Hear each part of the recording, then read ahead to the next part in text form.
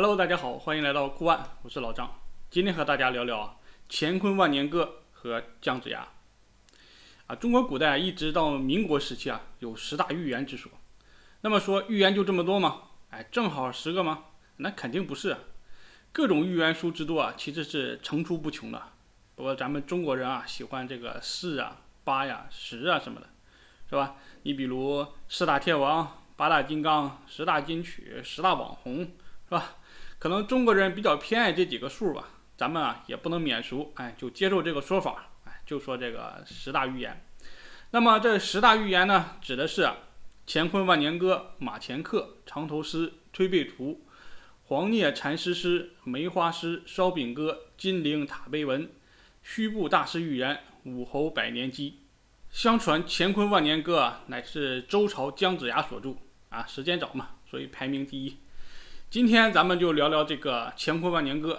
但是啊，先跟大家说一下，这个作者肯定不是相传的这个姜子牙。那么为什么敢这么说呢？看完我的影片你就明白了。好，那么请收看影片的朋友啊，订阅我的频道，打开小铃铛，为影片点个赞。如果您喜欢影片啊，也请您转发评论，您的支持呢是我前进的最大动力。谢谢谢谢谢谢。那么咱们先来说说这个姜太公姜子牙。哎，他姓姜，吕氏，名尚，智子牙。号飞熊，是啊，周文王、周武王的军师，哎，为神农氏五十一世孙，伯夷三十六世孙。史册记载名字有啊，姜尚、姜望、姜牙、姜子牙、吕尚、吕望、吕娟、吕牙，别称有姜太公、吕太公、齐太公、太公、太公望、上父、师上父，哎，庙号文主、贾齐公。后来在唐宋啊，又被追封为武成王。昭烈武成王，哎，所以啊，他叫姜尚啊，也叫吕尚，哎，这个名字实在是太多了啊。咱们今天啊，中国人的姓氏啊，姓氏啊都合一了，基本上都是一个字儿啊。你比如说赵钱孙李周吴郑王啊，冯陈楚卫蒋沈韩杨啊，当然也有两个字的，比如说司马呀、慕容啊，最多的十七个字儿。鲁纳农于古母遮族多兔母苦阿德五阿喜啊，是彝族的这个姓。基本上很多字的姓啊都不是汉族的啊。先秦的时候啊就不一样啊，姓是姓，氏是氏，姓啊一开始是部落族群的这个符号，而且啊很有可能啊是开始于母系氏族部落的时候。比你比如说上古八大姓：任、姬、姜、氏、嬴、云、归、尧。这八大姓啊都是女字旁，而且你看，包括这个“姓”这个字啊，它也是女字旁。后来啊人多了以后啊，就分出去一部分，是吧？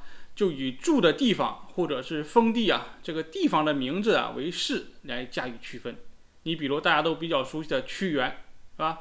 他老人家是以身殉国哈，自古以来就是爱国主义的代表，是象征，并且啊还给我们带来了一个节日啊，还能放一天假，还挺好的。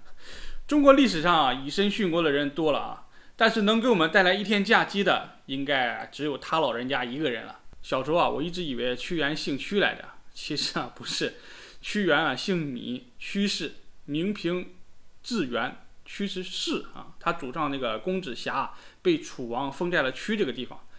那么他为什么不叫芈平或者叫芈元呢？那是因为啊，先秦时代啊，男子都是氏加名。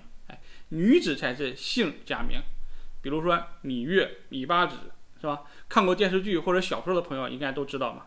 啊，他们都是啊一个老祖宗。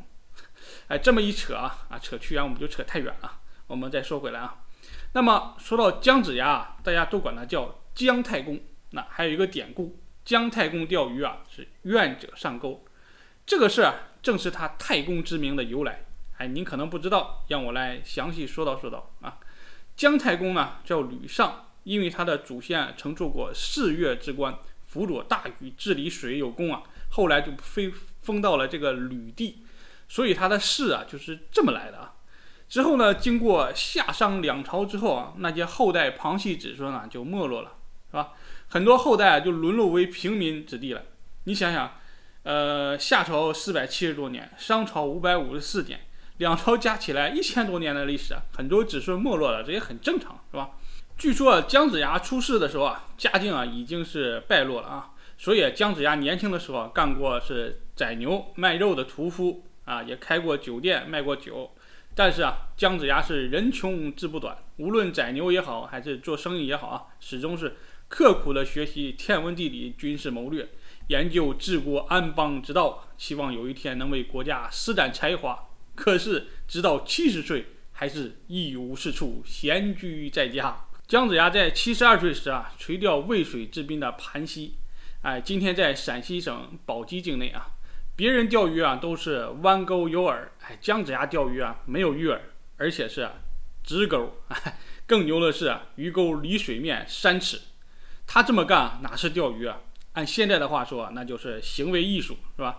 就是想出名，借钓鱼的机会啊求见姬昌。有一次啊，姬昌外出啊狩猎之前啊占卜一卦，卦辞说：所得猎物非龙非狮非虎非熊。所得乃是成就霸王之业的辅臣。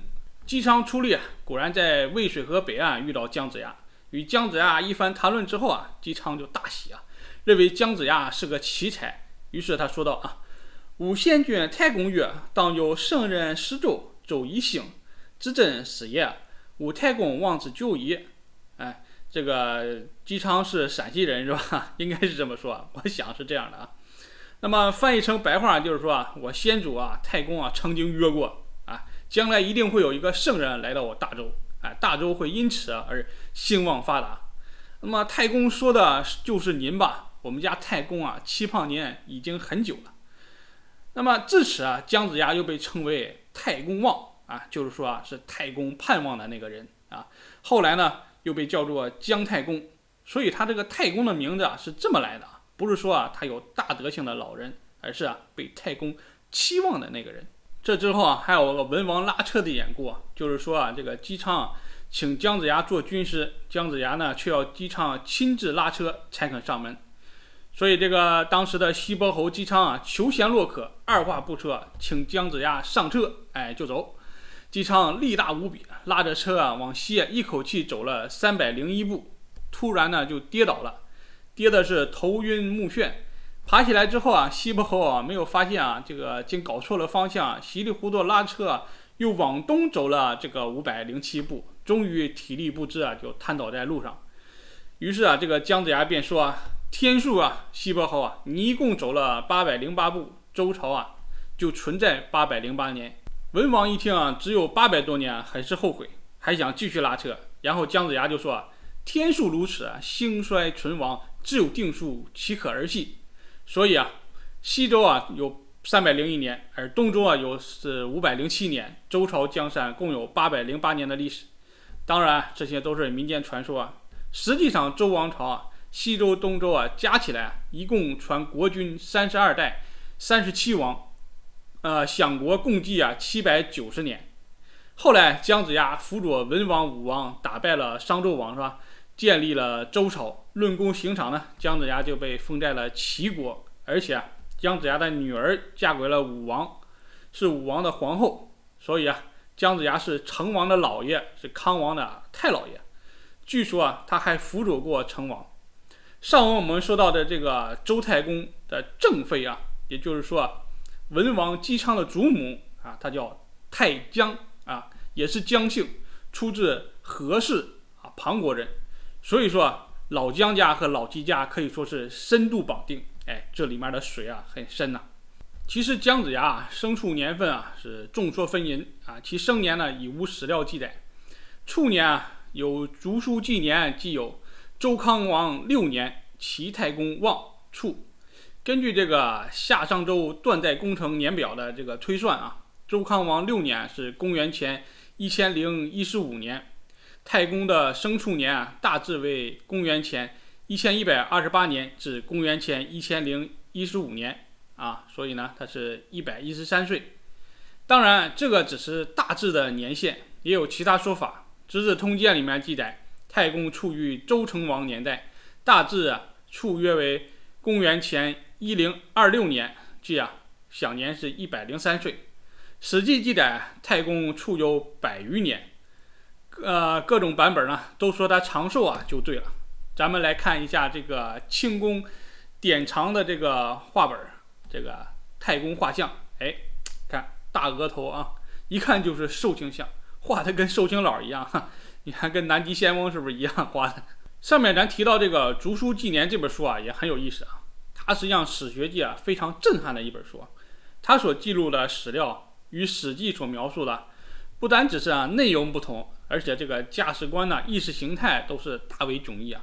比如啊，《史记》记载这个尧舜禹之间是通过禅让来传位的，是吧？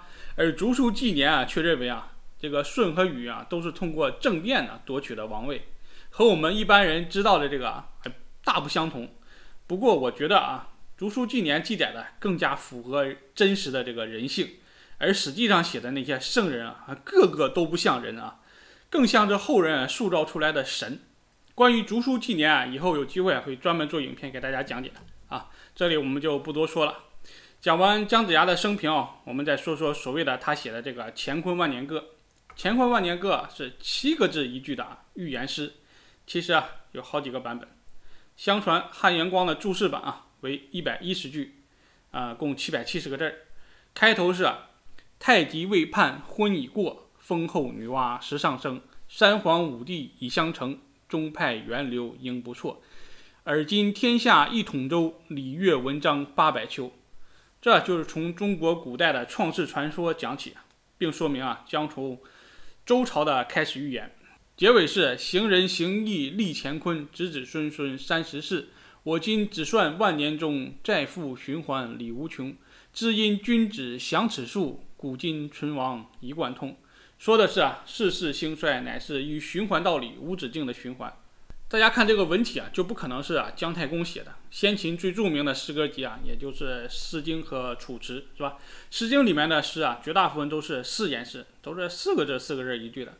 你比如说，大家都比较熟悉的啊，“关关雎鸠，在河之洲。君子窈窕淑女，君子好逑”，是吧？“参差荇菜，左右流之。窈窕淑女，寤寐求之。”是吧？风格都是这样的。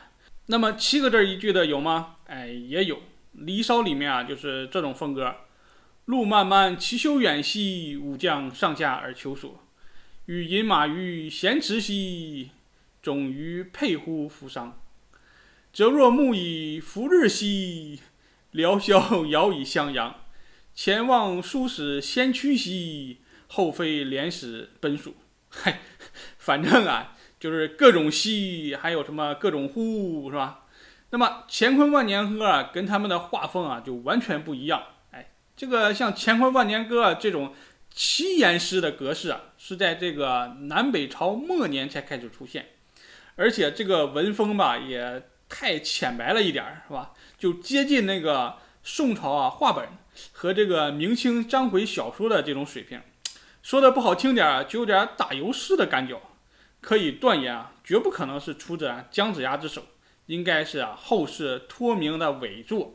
如果说到这儿您还不信，咱们再往下看第七句、第八句，写的是啊“串去中直传天下，却是春和换日头”。哎串去中直啊是个吕字，春和换日头啊是个秦字，说的就是啊秦始皇本姓吕，是吕不韦的儿子，是吧？说的就是嬴政和吕不韦那点事儿，这个大家应该都知道啊。看着好像是预言的非常好，是吧？可问题啊就出在这个春字和秦字上。商朝啊使用的是甲骨文啊，周朝呢是金文，而我们现在。所能认识出来的这个隶书啊，这个春字和秦字啊，是在这个秦汉时期才出现的。可能甲骨文和金文啊，我们大家都不认识啊，至少我不认识。可能有的观众朋友呢，啊，学识比较渊博，认识。那么您就知道啊，这个作为商末啊周初的人物，这个姜子牙姜太公啊，他不可能写这个隶书，是吧？而春和秦字在甲骨文上，哎，是。这么写的，哎，这金文呢又是这么写的，这所以啊，这诗啊根本就不成立。那么综上所述啊，至少我们现在看到的这个版本的这个《乾坤万年歌》啊，肯定不是姜子牙写的。《乾坤万年歌》啊全诗啊都在预言中国的朝代更替。哎，虽然不是姜子牙写的，呃，但是有些预言呢还是挺准的啊。一百多句啊，咱们在这里呢就不一一说了啊，您可以到网上去搜一下啊。有很多这个详细解释。那么和我们啊最相关的，我想应该就是这四句：人丁口取江南地，金国重新又一欠，两分疆界各保守，更得相安一百九。丁口为实质，很可能说的就是啊蒋公。金国重新又一欠，两国疆界各保守，说的不正是我们现在的这种情况吗？那么更得相安一百九啊，这句话就说到了一百九啊，一说是一百九十年，还有一说是一百零九年。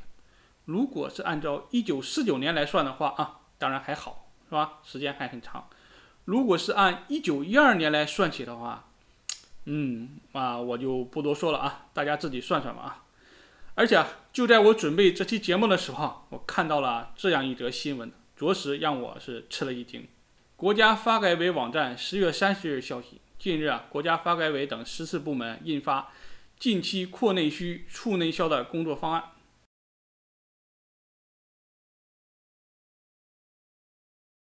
好，本期节目就到这里，请收看影片的朋友啊，订阅我的频道，打开小铃铛。